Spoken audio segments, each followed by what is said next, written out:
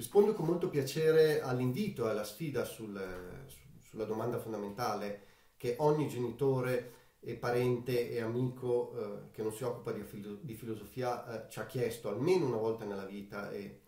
e di fronte alla quale eh, noi spesso ci siamo trovati in braghi di tela e non sapevamo cosa rispondere. Dopo tanti anni eh, nella disciplina e eh, facendo un po' della filosofia anche la professione, eh, voglio cercare di rispondere a questo tipo di domanda mostrando che in realtà la, non c'è niente di misterioso o particolare nel senso della filosofia e nell'utilità della filosofia, perché può essere un qualcosa di anche molto semplice e quotidiano. Um, e per spiegare eh, questa, questa, intuizione porterò l'esempio di un piccolo evento che, successo, che mi è successo di recente. Io sono un ciclista mediocre e eh, insomma uno che ha appena iniziato a, da, da, poco fa eh, un minimo di giri, però ho la fortuna la sfortuna di vivere in alta montagna, quindi mi devo misurare con i grandi passi alpini e in particolare la cosa di cui voglio parlare e da cui prendo eh, spunto è che tre mesi fa sono riuscito a eh, andare da Bormio al Passo dello Stelvio in bici. Ora non voglio fare una, un grande panegirico su questo perché io, ripeto, sono molto scarso e è stato un po' un caso, non, non me l'aspettavo in un certo senso. E, ehm, e, questo non aspettarsi di riuscire a farcelo anche se con molta fatica, un po' di pause, è, è stato qualcosa che mi ha uh, fatto riflettere. E, ehm, da un lato, cos'è questa cosa? Perché questa cosa così particolare mi ha fatto riflettere? Beh, possiamo pensare che banalmente ho superato i miei limiti, quelli che credevo essere i miei limiti, e quindi è una cosa significativa. Però quando ci si chiede perché un qualcosa è significativo, ci si sta chiedendo la domanda sul senso della questione, quindi si entra in un territorio chiaramente più eh, filosofico. Una risposta ovvia eh, ma fuorviante potrebbe essere che beh, eh, sono stato in un posto molto bello, molto in alto, quindi questo ha una dimensione chiaramente filosofica. L'altezza, eh, secondo certe eh, vulgate eh, filosofiche, ha una dimensione propriamente concettuale perché ci permette di astrarci dalla quotidianità. Ecco, in realtà questa eh, non è stata la risposta che mi sono dato e può essere vera in certi casi, ma non lo era nel mio caso.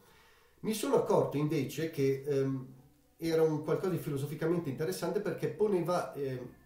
in gioco la mia identità, ovvero eh, pur essendo stato un piccolo evento che probabilmente non si, non si ripeterà mai più, eh, non voglio ingrandirlo, però è un qualcosa che ha toccato la mia identità. Ma cosa vuol dire un qualcosa che ci tocca l'identità? Ci sono ovviamente tante, tante eh, teorie su eh, cosa vuol dire identità e eh, non, non, possiamo toccarle qui. Da un lato possiamo pensare che l'identità è un filo di continuità tra il presente e il passato, in cui noi ci riconosciamo più o meno continuamente. Questo vuol dire che l'identità non è una sostanza indipendente dalle esperienze che abbiamo avuto e vuol anche dire che le esperienze che abbiamo avuto, se non ce le ricordiamo, eh, costituiscono dei, dei buchi neri o dei, dei, dei, buchi perlomeno nella nostra identità. Oppure possiamo pensare che l'identità è, per esempio, eh, una capacità, una capacità nei termini di avere controllo, di poter, eh, eh diciamo, progettare il sé, di essere autonomi rispetto a quello che succede. E questa è un'idea di, eh, di, identità un pochino diversa, che può essere mescolata con la precedente, ma che implica,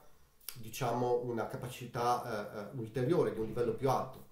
Eh, questo, I problemi che ha questa concezione sono, per esempio, quelli di pensare che quando siamo eh, molto piccoli non abbiamo ancora questo tipo di capacità e quindi non abbiamo in un certo senso l'identità che poi riconosciamo, e questo è vero.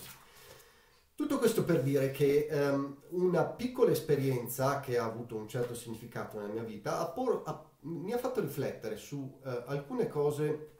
su cui non riflettevo da, da, diverso tempo e che in realtà non costituiscono nemmeno eh, le mie capacità e i miei interessi disciplinari in senso proprio, ma mi hanno toccato e indagare il senso in cui mi avevano toccato, mi hanno toccato, mi ha permesso di capire che uh, uh, che la mia identità è stata toccata da questo, è stata toccata perché ho avuto un'esperienza diversa che è in un certo senso discontinua da tutto il resto, benché sia molto piccola. ed è stata toccata perché eh, anche la mia capacità di controllo, che costituisce l'identità secondo altre teorie, ehm, può fare cose che io non pensavo fossero possibili, per cui lo stesso evento banale eh, di vita personale, analizzato da un punto di vista filosofico, inteso in questo senso, può dare risposte diverse, entrambe giuste o entrambe sbagliate a seconda dei casi. E per rispondere infine alla domanda eh, che, che, costituisce il senso di questa, di questa breve chiacchierata, eh, eh, piuttosto che chiedersi che co- perché serve la filosofia, a cosa serve la filosofia, forse ci possiamo chiedere dove la possiamo trovare e in che senso, in che termini. E la mia risposta è che possiamo trovarla anche nelle piccole questioni, piccole, grandi questioni quotidiane, perché ogni piccola e grande questione quotidiana nasconde in un certo senso le grandi questioni filosofiche più o meno eterne però eh, eh, eh, le nasconde in maniera sempre non banale e l'esercizio propriamente filosofico è cercare di capire in che senso in maniera non banale eh, eh, ci sono delle questioni filosofiche anche negli aspetti quotidiani. Grazie e ciao a tutti.